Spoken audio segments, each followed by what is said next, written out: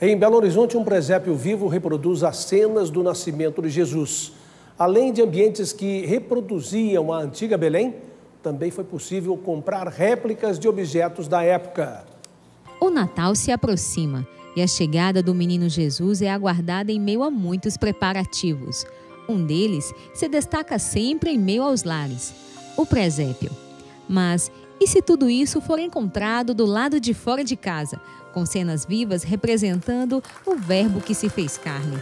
É isso mesmo. Aqui, o Natal é aguardado desse jeito. Transmitir através da visita das pessoas que eles façam uma experiência de fé com emoção. Então, estão chegando pessoas do Rio, até da Flórida chegou gente que ficou sabendo que tinha. A visitação foi excelente, as escolas da região todas estão vindo visitar artesãs, lavadeiras, sapateiros, oleiros, vinhateiros, tecelãs, pastores e tantos outros. São diversos figurantes em ambientes que fazem alusão à cidade de Belém.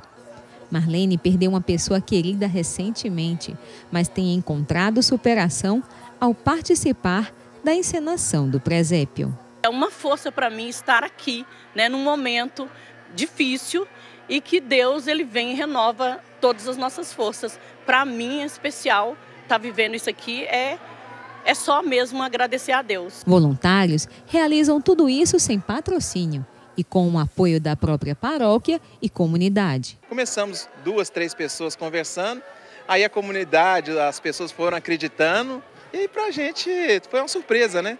Todo mundo chega e participa.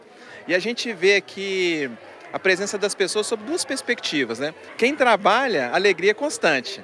Né, de vestir aquela roupa, se está vivendo como se fosse em Belém. E a outra perspectiva é de quem visita, que também se emociona, né?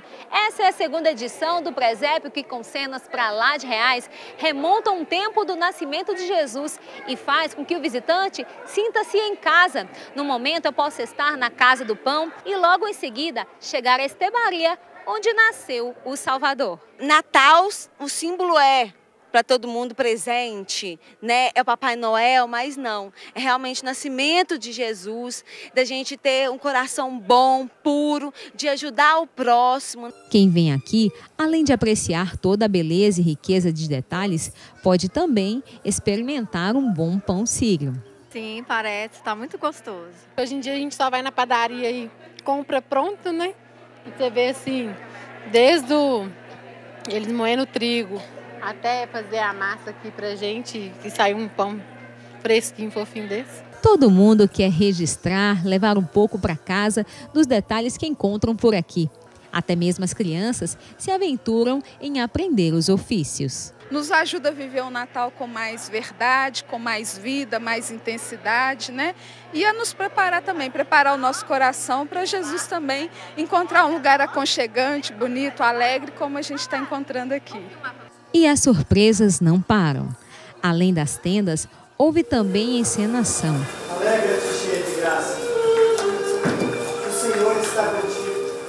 A boa nova da anunciação do anjo Gabriel, o sonho de José, o nascimento de Cristo. É a pequena Belém que passa pela admiração e chega aos corações, trazendo o menino Deus. A TV Canção Nova vai exibir no próximo dia 23 o filme Um Conto de Natal. E para falar sobre esta produção da dramaturgia, eu recebo o diretor Ralph Batista. Boa noite, bem-vindo, Ralph. Boa noite, obrigado, Catarina. Conta um pouquinho para a gente do enredo que as pessoas podem esperar desse filme. O conto de Natal ele vai retratar como foi criado o presépio. Então, a partir de dois frades menores, vão numa região chamada Grétio e lá eles encontram um conflito familiar. E nesse conflito, eles, é, numa noite de Natal, explicam para aquela família o, o verdadeiro sentido do Natal e também como o presépio ele foi criado. As pessoas vão poder acompanhar já a produção completa, afinadinha ali no final. Mas como foram os bastidores? Conta um pouquinho pra gente onde vocês gravaram. Então, as partes internas do episódio foram feitas nos nossos estúdios mesmo, né? E as externas a gente, a gente procurou sempre um lugar aqui por perto que fosse parecido e remetesse à, à região de Grétio, né? Claro, a gente não é consegue... uma região italiana, né? Italiana, a gente não consegue ir até lá com todo mundo, 60 pessoas, mas a gente tenta buscar uma referência pela região aqui, retratar um riacho, um campo, alguma coisa nesse sentido.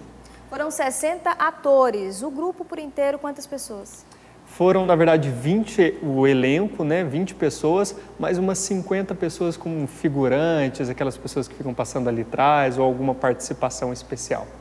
Bom, então vamos acompanhar o trailer para saber um pouquinho do que está vindo por aí.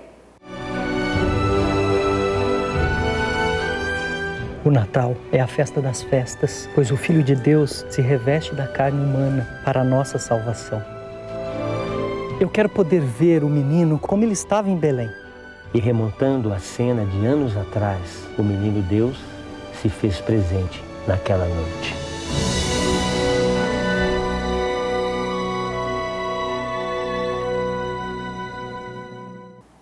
Que bacana, hein, Ralf? E para você, o que foi mais marcante nesse trabalho? Então, para mim, eu acho que mostrar como foi criado o presépio. Para muitas pessoas que eu perguntava, você, você sabe como foi criado o presépio? A gente tem em casa, né, nesse clima de Natal, a gente monta ali do lado da nossa árvore o presépio, mas a gente, e aí, como foi criado? E muita gente não sabe.